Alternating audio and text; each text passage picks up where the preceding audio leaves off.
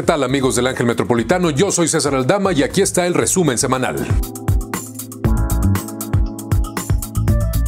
Esta semana conocimos a la nueva incorporación de la 4T. Se trata del empresario Carlos Slim, quien de plano ya acudió a la mañanera a explicar cómo se resolvió el conflicto entre empresarios y el gobierno con respecto a gasoductos que vendrán desde Texas.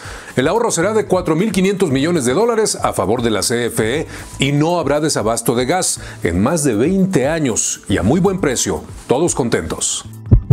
La jefa de gobierno, Claudia Sheinbaum, anunció cinco ejes de acción contra los feminicidios que incluyen botones de pánico en transporte público, también senderos seguros, MPs para mujeres, denuncias digitales, entre otras más. Pero también sabe qué propone crear un banco de ADN para identificar a los agresores sexuales y tenerlos fichados literalmente. ¿Cómo ve usted?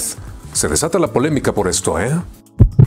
En lo internacional ya le decíamos que en la reunión del G7 se acordó un fondo de 20 millones de dólares de ayuda para combatir los incendios que destruyen la selva del Amazonas. Pues ¿qué cree usted?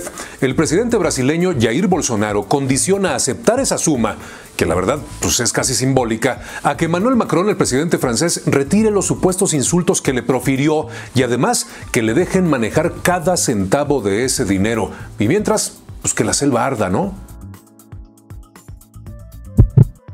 Y cerramos con esto. Vea usted estas imágenes. Resulta que la cadena Costco abrió su primera tienda en China y mire nada más. Como si estuvieran regalando las cosas. Miles de personas vaciaron la tienda que está ubicada en Shanghái. Se reportaron filas de hasta tres horas nomás para estacionarse. ¿Qué le parece? Es el consumismo del supuesto comunismo. ¿Qué tal? Ahí están algunos temas de la semana, pero a seguir para los próximos días las investigaciones por la terrible masacre en un bar de Coatzacoalcos en Veracruz y también el drama de los incendios en la selva del Amazonas y ojo también en los bosques africanos. Más información angelmetropolitano.com.mx. Chao, chao.